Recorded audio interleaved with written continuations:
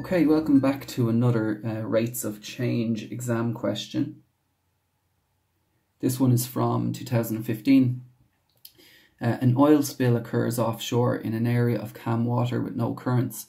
The oil is spilling at a rate, we have a rate straight away, of 4 by 10 to the 6 cubic centimeters per minute. The oil floats on top of the water. Complete the table below to show the total volume of oil uh, on the water after each of the first six minutes. So um, the volume is by 10 to the 6. So it's doing 4 by 10 to the 6 every minute. So it's just 4, 8, 12, 16, 20, 24. And it's by 10 to the 6 uh, cubic centimeters per minute. Um, draw a graph to show this. So we're just filling in uh, 1, 4, 2, 8, 3, 12, 4, 16, 5, 20 there, and 6, 24. Okay, then just join the lines there. Let me get my ruler.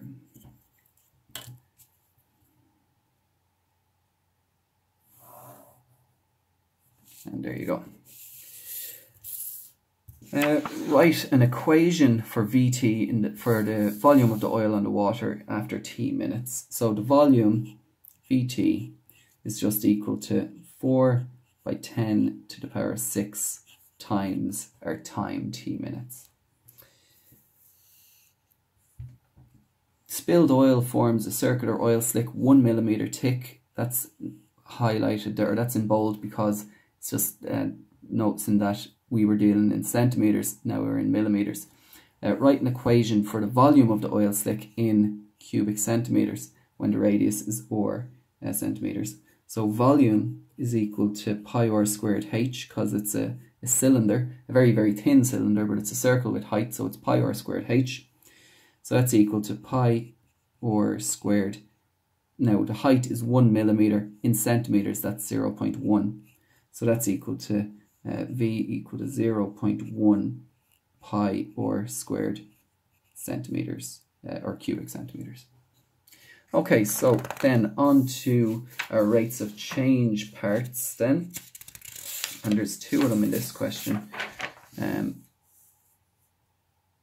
so the first one is saying find the rate in centimeters per minute at which the, the radius of the oil slick is increasing when the radius is 50 meters.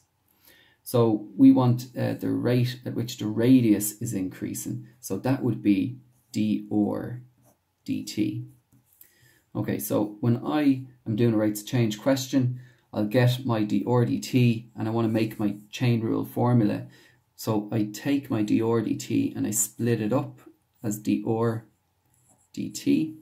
And then I have a look at the question and I think, what else is in the question um, that I can use in here. And the thing that is in the question is volume. Volume is given here. So I'm going to put in dV here and here. Okay, so now I have dV um, in both of them. So dr dV times dV dt. Now, um, do I have any of them? I do. I have dV dt already dV dt is the rate of change of volume with respect to time, and that's the 4 by 10 to the 6. Now, what about dr dv? Well, that's a uh, radius and volume, so I could use the volume formula for this, and the volume formula I have from the last part, the volume formula is here. V is equal to 0 0.1 pi r squared. So V is equal to 0 0.1 pi r squared. Now I differentiate, so differentiate with respect to r, so dv dr. 2 by 0 0.1 is 0 0.2 pi r. So that's dv dr, but I'm looking for dr dv, so I need to invert it. So I can say therefore dr dv is equal to 1 over that, 1 over 0 0.2 pi r. And then I can go and fill this in. So dr dv 1 over 0 0.2 pi r times dv dt, which is 4 by 10 to the 6. Uh, so I can put that together and say d or dt is equal to 4 by 10 to the 6 over 0 0.2 pi or. Now I want it at uh, the radius of 50 meters. Now at 50 meters we need to put it in centimeters because we've been dealing in centimeters. Um, so centimeters is uh, 50 meters is 5,000 centimeters. So d or dt now, d or dt is equal to 4 by 10 to the 6 over 0 0.2 pi times 5,000 and pop that into your calculator and you should end up getting 1273.3 centimeters per minute. Okay, on to the next part then. Show that the area of water covered by the oil slick is increasing at a constant rate of 4 by 10 to the 7 square centimeters per minute. So this is the area of water uh, covered by the oil slick. So the area would be dA dt. So again, I'm going to take my dA dt and split it up like this, dA dt. And now have a think, what, um, what do I have uh, that I can use? Well, it's going to be radius again because I'm dealing about, I'm looking at area of a circle here. So it's going to be dr and dr. So do I have either of these? Well, I do. I have one from the last question. I have d or dt. There's d or dt there. So I can use that in there. Now I just need to find dA dr. So to find dA dr, I'm going to use radius. How can I relate area and radius? Well, the area of a circle is pi r squared. I can differentiate that to get dA dr. So that's equal to 2 pi r. So now I have dA dr. So I can fill them both in. dA dt now is equal to 2 pi r multiplied by 4 by 10 to the 6 over 0 0.2 pi r. So straight away I have some things cancelling out here. Uh, I have pi r cancelling with that pi r there. So I have 2 by 4 by 10 to the 6. That's equal to 8 by 10 to the 6. And I'm going to divide that by 0 0.2. And we can get a calculator there. Uh, 8 by 10 to the 6 uh, divided by 0 0.2 is 4 by 10 to the 7 seven zeros there.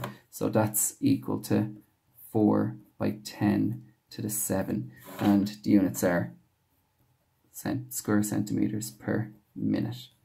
Um, and that's what we were asked to find there. So 4 by 10 to the 7. And then the last uh, bit of the question, uh, not really a, a, rate of change uh, relevant part, but just to, to get it done anyway. So the nearest land is one kilometre from the point at which the oil spill began. Find how long it will take for the oil slick to reach land and give your answer correct to the nearest hour.